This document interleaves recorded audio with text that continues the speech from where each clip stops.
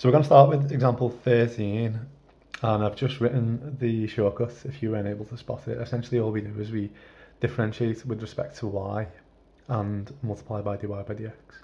It's very important that we remember that we must multiply by dy by dx um, when we're working with y terms within this topic. I've skipped example 12 because we did that one um, in the last video. The first one we're going to start with is differentiate with respect to x e to 2x y. And the first very important thing is you must realise that this is two functions that are being multiplied together. So we've obviously got to use the product rule for this question.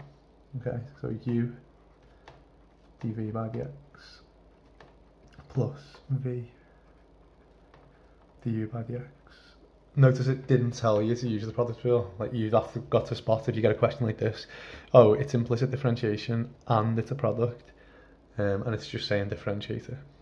Okay, so let's start by saying well u would equal e to the 2x and v would equal y.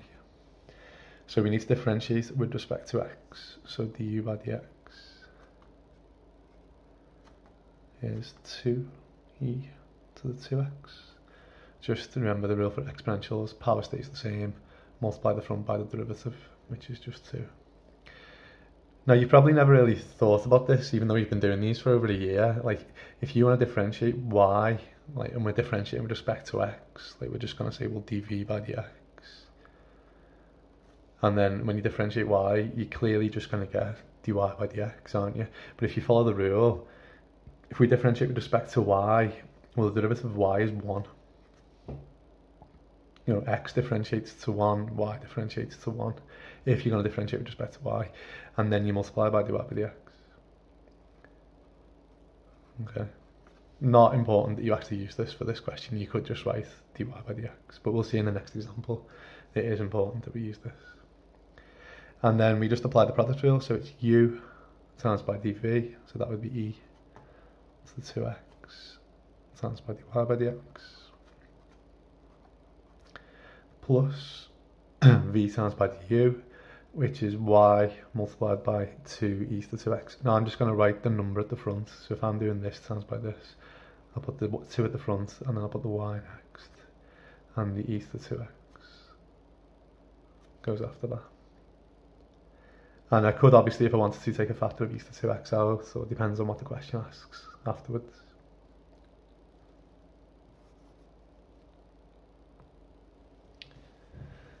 Next example, example 14. The question actually says differentiate with respect to x, but if you look at the answer on the sheet, it, we're actually going to find dy by dx equals. So our function that we're working with is y equals, so you might be thinking, oh, well, it's explicit, but then if you keep reading, it's, it's clearly not. It's a function with x's and y's in. So if we do get a question like this, you just need to take a step back and go, well, clearly this is implicit differentiation. Okay, it probably won't mention it in the question. So we want to somehow differentiate this and end up with dy by dx equals.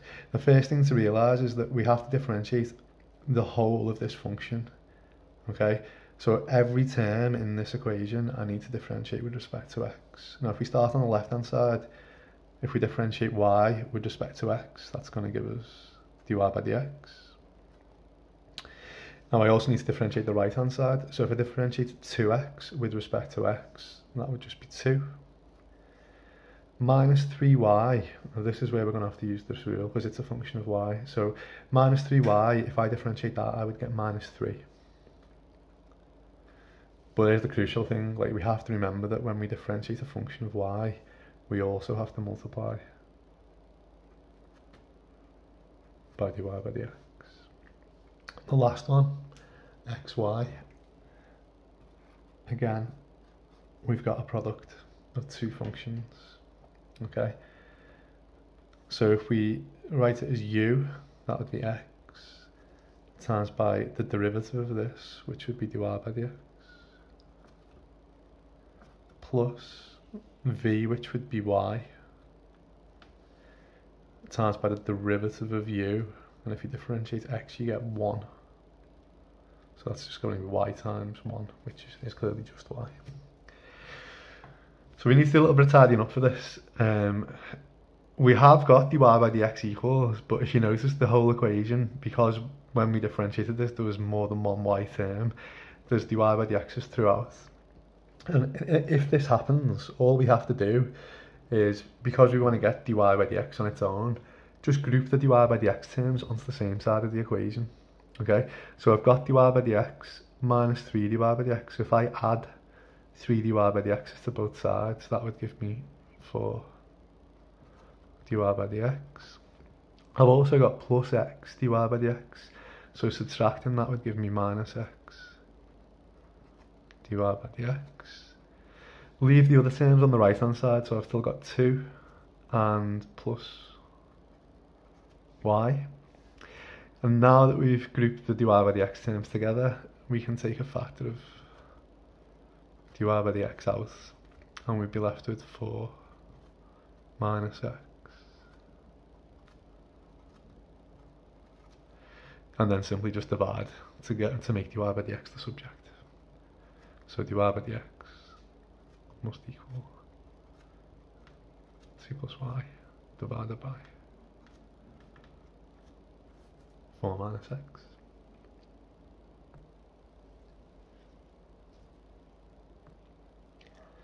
Example 15, a bit more like an exam style question.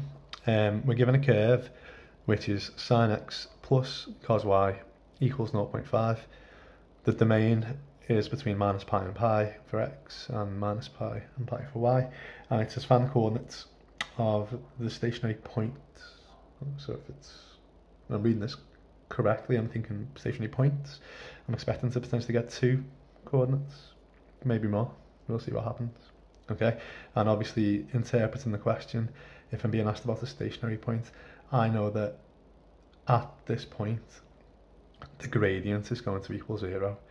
So we need to interpret this final sentence, stationary point, that would be when dy by dx equals zero. And then we look at our equation and think, well, I need to differentiate this oh, there's a function of x and the function of y, so it's implicit differentiation. No product rule, but there is definitely implicit differentiation. So I'm going to differentiate the whole equation with respect to x. A common mistake that people make when they start this is they start by writing dy by dx equals. But please don't do that, okay? It didn't start with y equals, so you're not going to start with dy by dx equals. We just have to differentiate the function. So if I differentiate sine x,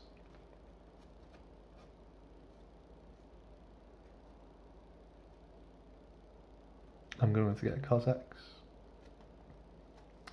Differentiate cos y, now this is implicit, so we've got to be careful. So cos goes to negative sine of y, and we also need to multiply that by dy by dx.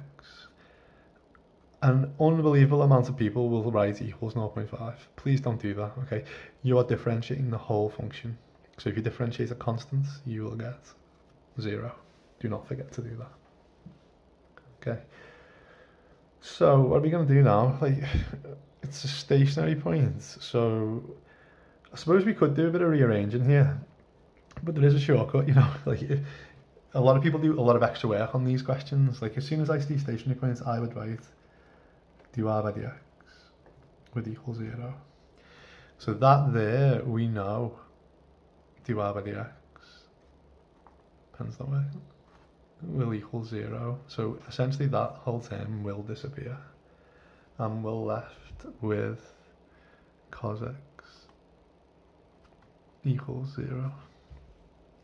Most people won't have spotted that. Most people, I'll show you what most people will have done. You'll get the same answer. So you'll rearrange. So we'd get cos x would equal sine y dy by dx and then you divide, so you get cos x divided by sine y would equal dy by dx. and then you're feeling a bit more confident with yourselves. You're like, well, got dy by dx. Now I can think about dy by dx equals zero. So then you get cos x over sine y. Then you say equals zero. And then you think, well, what happens when a fraction equals zero? And we should know that, hopefully. When a fraction is equal to zero, we can multiply up, can't we? And we get cos x equals zero, but like look how much extra time you've just spent when you could just say, well, dy by dx equals 0. As soon as you've di differentiated, use the information that you've got in the question and your answer falls out like this.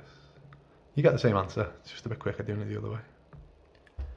So, cos x equals 0, um, we're solving clearly in radians. Um.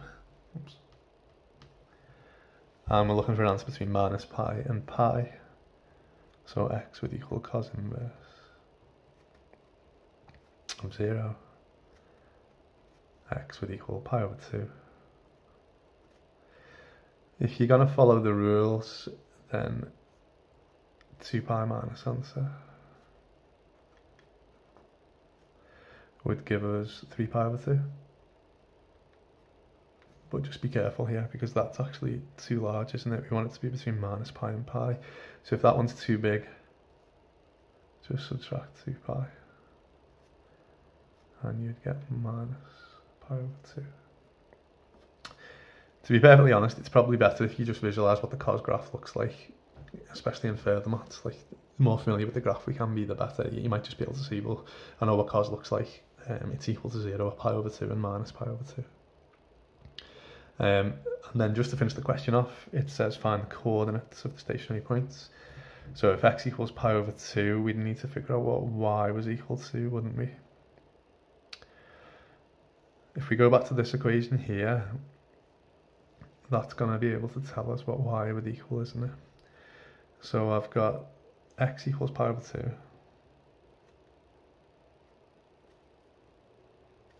Let's substitute that into the original equation and see what happens. So sine of pi over 2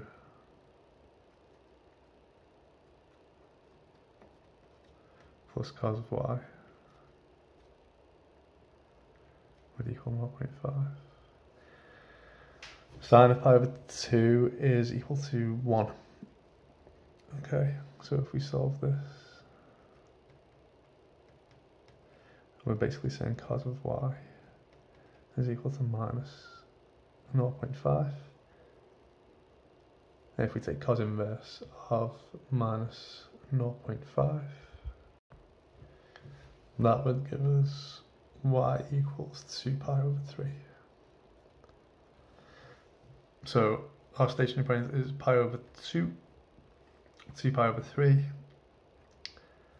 And if you do it for the other one, I'll skip the working out, it's minus pi over 2.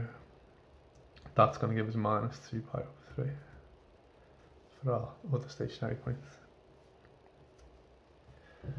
Okay, so feel free to review the video again if you need to, but if you're feeling pretty confident on this, have a go at exercise 5. Please work through the first page, I'd say at least up to question 9. It, it gets a little bit more difficult when you get on to question 12, um, so I don't mind if you skim over those, but I would ideally like you to work through the questions up to question 12. Work solutions, I've done them, so just check on Connect or check uh, on the Teams folder because the work solutions are on there. Some of the questions are a little bit tough, so please use the answers, uh, my work solutions, to help. Alright guys, enjoy. Thank you.